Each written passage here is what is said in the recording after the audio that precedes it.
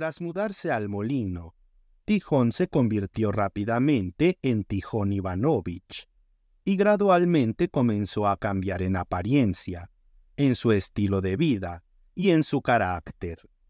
Ya no tenía las pequeñas preocupaciones agotadoras que, como moscas ciegas en verano, no dejaban en paz al campesino.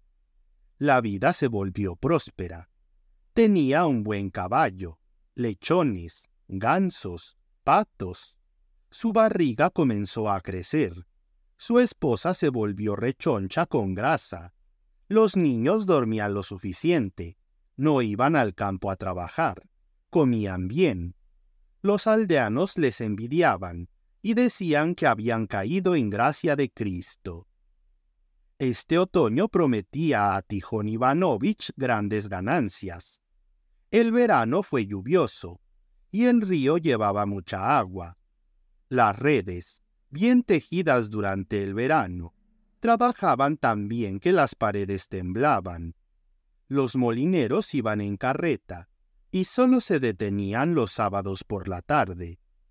Entonces, bloqueaban las ruedas, quitaban las compuertas. Sabostián, el empleado encorvado con una barba rizada siempre polvorienta, que la hacía parecer una escoba, con ojos de oveja, sacaba la harina que se acumulaba allí desde detrás del tamiz, y todos se iban a casa.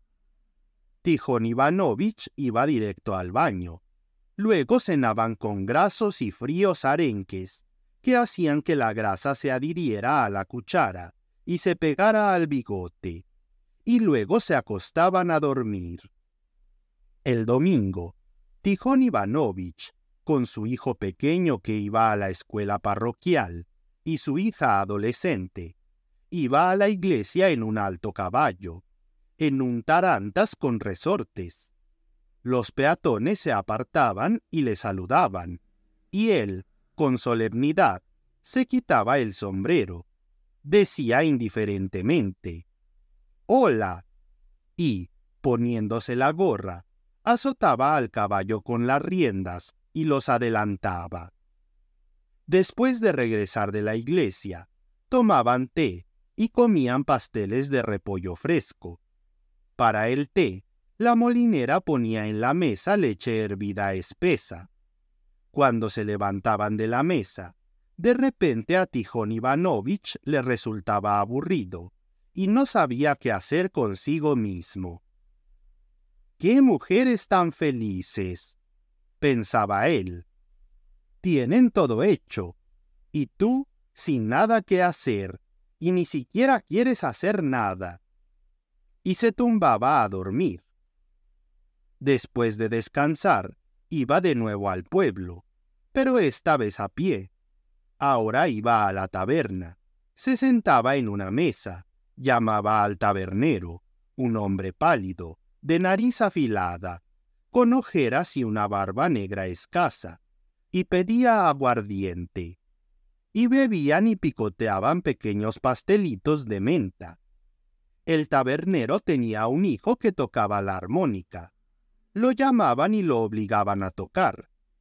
Y el niño tocaba todo su repertorio, que incluía Olas del Danubio, La Marsellesa, Gloria y todas las canciones nuevas.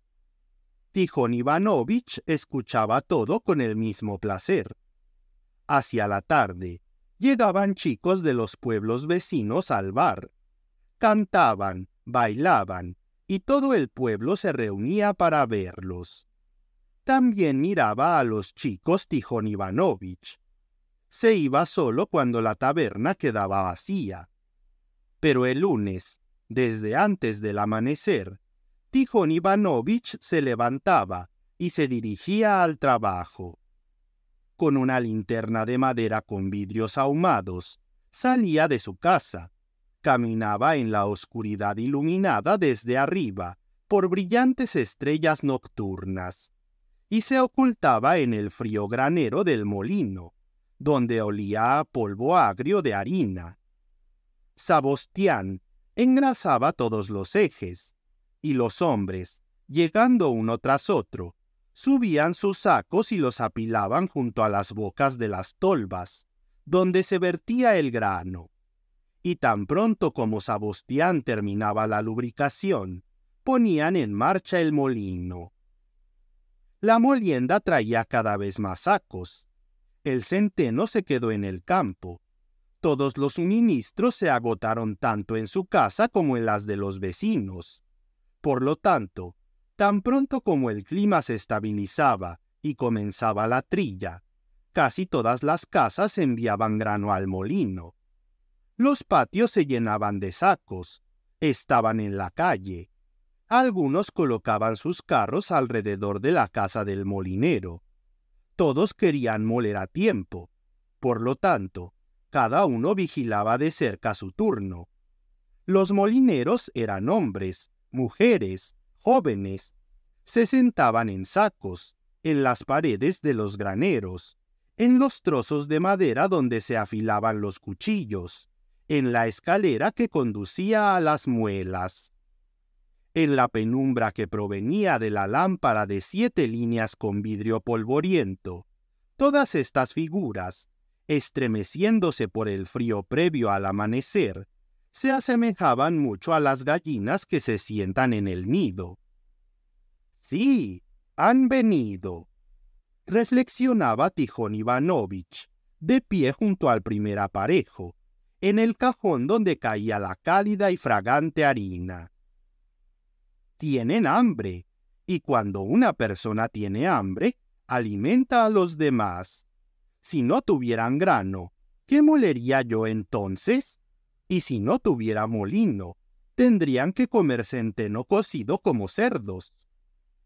Sus vecinos venían al molino, algunos con los que él, cuando trabajaba como molinero, trataba casi de manera hostil o aquellos que pensaban de manera completamente opuesta a Tijón Ivanovich. Tijón Ivanovich trataba de relacionarse con todos con respeto. Hablaba suavemente, con simpatía, preguntaba cómo les iba, qué novedades tenían. La conversación se animaba en el granero. Un anciano campesino pelirrojo, con un enorme sombrero que se acomodaba en el banco, hablaba con voz delgada y líquida. Según la voluntad de Dios, mi cuñado tiene un libro, y todo está predicho en él. Últimamente, dice, habrá hambres, pestes, calamidades terrenales. La gente se levantará contra la gente, hermano contra hermano. Todo está explicado hermano contra hermano ha estado levantándose desde hace tiempo. Observó otro campesino con voz ronca, y en su rostro rojo con una nariz grande y gorda apareció una sonrisa astuta. Pero que un campesino se levante contra un señor, eso no está dicho en la escritura. Está todo ahí, aseguró el pelirrojo con fervor. Nada se pasa por alto. Allí se calcula cada detalle. Bueno, parece que Bostonogov no lo leyó. De lo contrario no hablaría con tanta seriedad. No lo leen, dijo solemnemente Gerasim Kramtsov, un vecino de Tijón Ivanovich que estaba junto a la balanza, un campesino joven con una gran barba rubia tienen un enfoque diferente.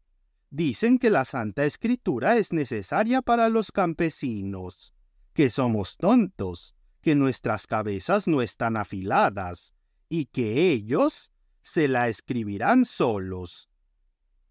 Exactamente, asintió el de la voz ronca. Su tono y risa eran desagradables para Tijón Ivanovich. Se sentía malicia en ellos y él comenzó a temer a los malvados. Antes, cuando vivía con los campesinos en la misma fila, le parecían indiferentes, pero ahora tenía miedo de los malvados. Una persona malvada es desvergonzada. Puedes esperar cualquier cosa de ella. solo no le tiene miedo a uno desnudo, pero si tiene algo, puede causarle daño. Además, le molestaba la actitud desdeñosa hacia los señores. Y los señores son personas. Si están arriba y no abajo, es porque tienen esos talentos, tienen la cabeza puesta de esa manera, pueden organizar y mantener todo, todos los obedecen, y nuestro hermano no fortalece su hogar, no retiene en sus manos a sus parientes. Los hijos de nuestro hermano no obedecen. ¿Cómo podemos compararnos con los señores? Pero solo lo pensaba, y no expresaba sus pensamientos. En el último tiempo, Tijón Ivanovich había adquirido la capacidad y la fortaleza para hacerlo, y se fortalecía. ¿Para qué mantener todo en la mano? pensaba él. Te encontrarás con un travieso, y él mismo te arrancará y te arrojará a la cara. Es mejor callar. Y, o bien callaba, o asentía, pero solo hablaba abiertamente en casa con los suyos. Allí, lo que estaba en su mente estaba en su lengua. Hasta el amanecer, el patio estaba tan lleno que los recién llegados no tenían lugar, y colocaron sus caballos alrededor de la casa de los Melnikov. Los hombres iban al granero, mientras las mujeres subían a la cocina. La molinera, pequeña, con una blusa gris oscuro y una falda de papel de cabello suelto, encendía la estufa. Siempre estaba contenta cuando las mujeres llenaban la cocina. Hablaban entre ellas, contaban noticias de sus aldeas. Todo eso entretenía y añadía un cierto interés a la vida solitaria. No conozco a esta joven, dijo la molinera, mirando a la mujer de unos treinta años que entró en la cocina, alta, con mejillas delgadas, nariz recta y frente lisa. Tenía grandes ojos, enmarcados por pestañas negras, que miraban de manera extraordinariamente triste. Toda su cara delgada y una vez hermosa parecía triste, como un árbol que ha perdido sus hojas. Es de Ciblobo. Vino conmigo. Se apresuró a explicar la anciana de nariz larga. No solía venir antes, supongo. ¿De quién es? Es la hija de Samoilov. La dieron en matrimonio a otra aldea y no venía. Ah, ya veo, entendió la molinera. Ahora entiendo por qué su cara me resulta desconocida. Entonces, viniste a visitar a tu padre y madre, ¿verdad? La molinera se dirigió directamente a la joven. Ella miró a la molinera como si quisiera hacerle entender que no se acercara, pero la molinera no lo entendió. La joven se apartó y murmuró entre dientes. A visitar. Te permiten tus suegros, ¿no? Sí, la mujer se levantó y, caminando nerviosamente, se dirigió hacia la puerta y salió de la choza. Sorprendida, la molinera la miró y, dirigiéndose a la anciana, preguntó ¿Por qué está tan extraña? ¿O está loca? No le gusta hablar. Está muy triste. Le mataron a su niña. ¿La mataron?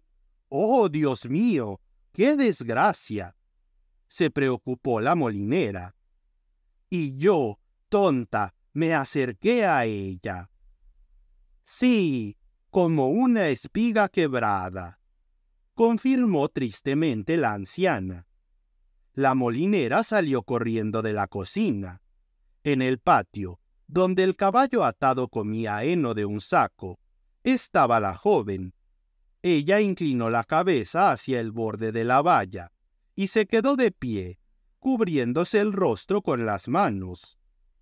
Querida, querida, dijo la molinera, tocándole el hombro con simpatía.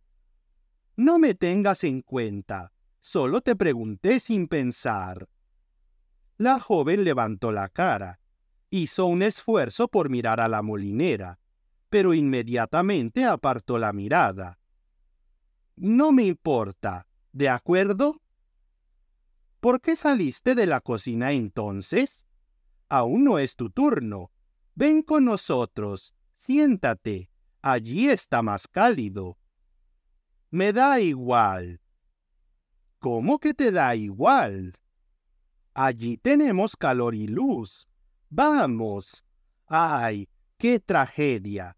Y yo ni siquiera lo pensé.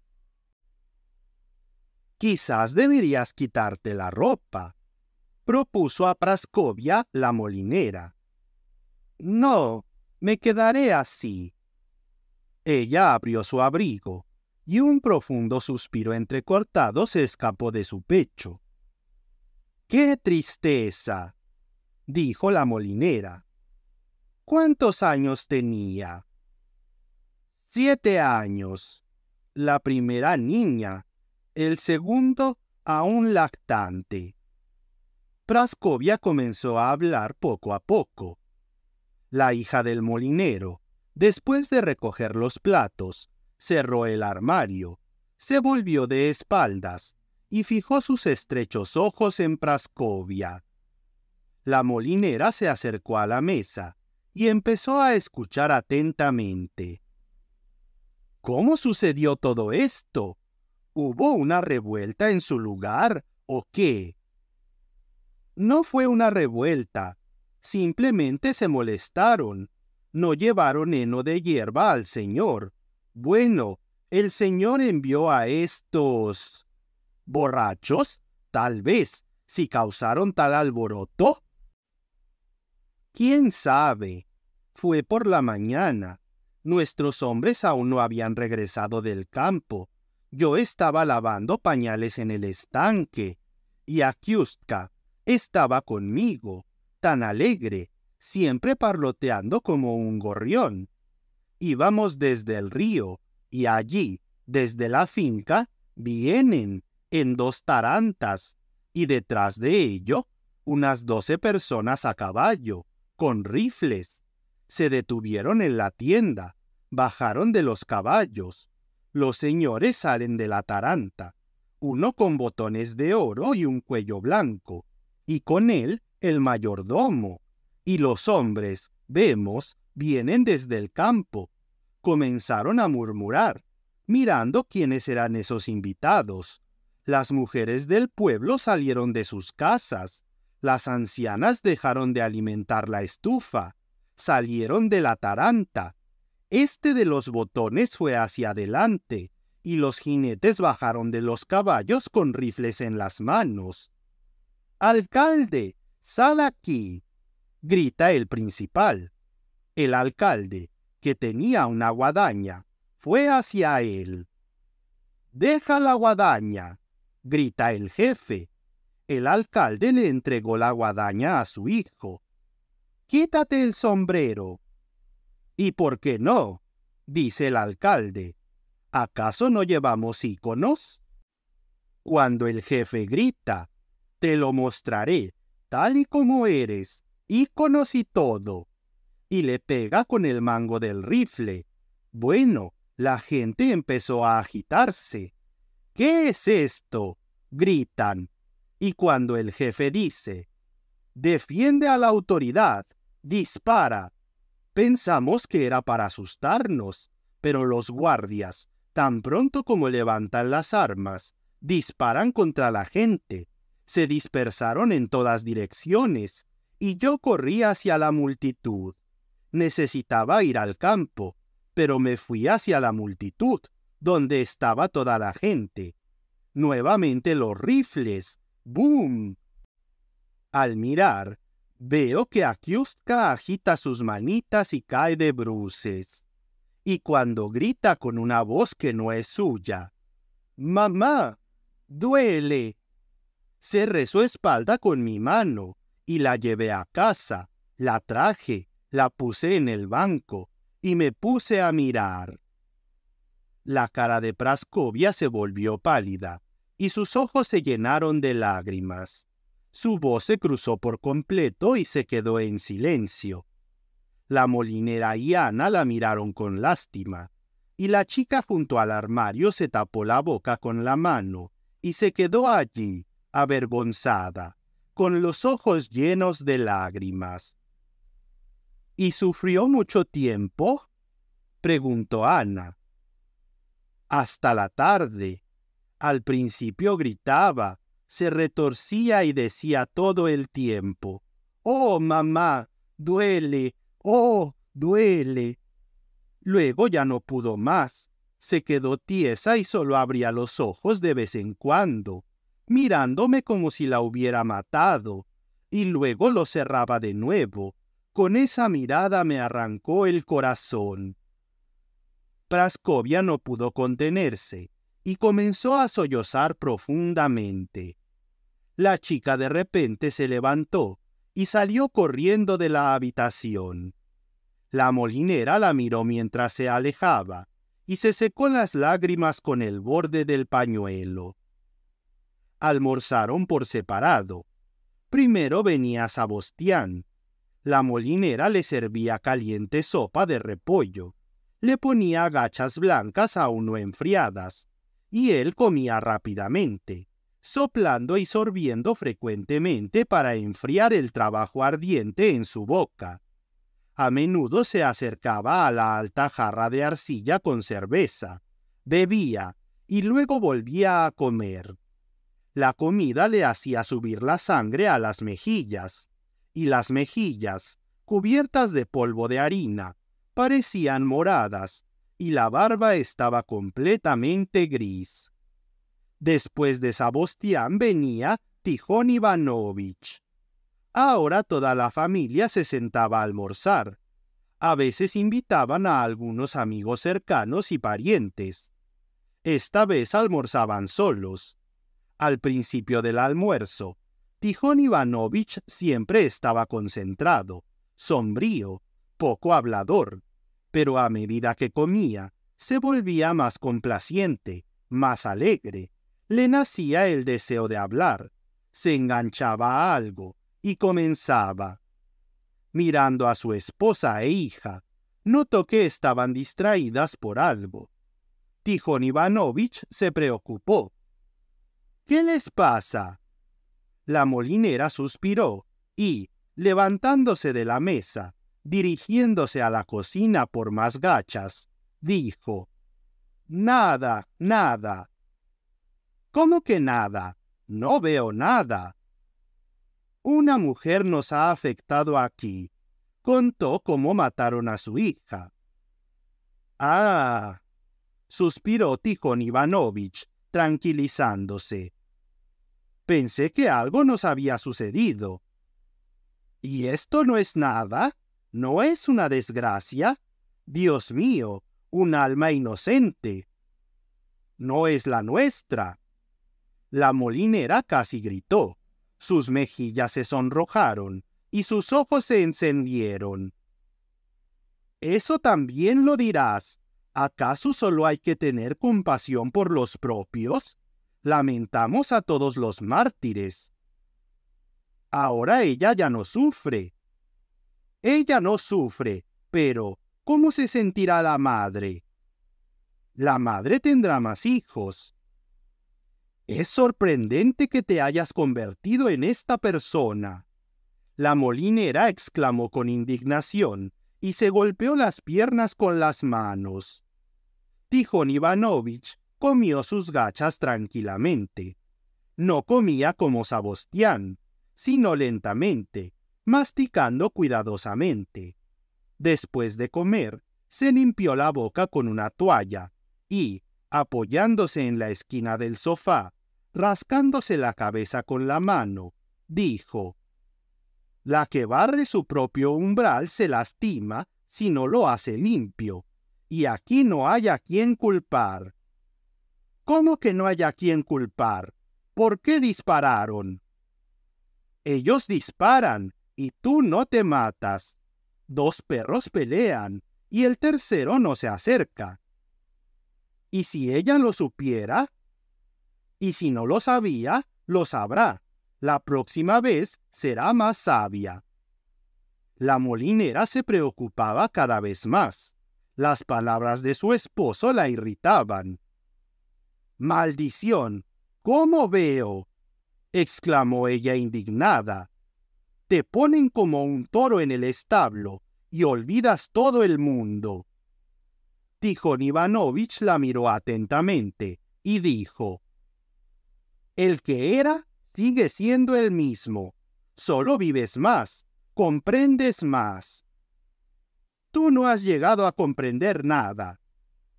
No, entiendo. A un hombre inteligente le gusta morder de donde puede morder, y donde no hay nada, no me romperé el corazón y satisfecho de haber expresado hábilmente su pensamiento, y sintiéndose superior, Tijon Ivanovich se levantó del sofá y comenzó a vestirse de nuevo.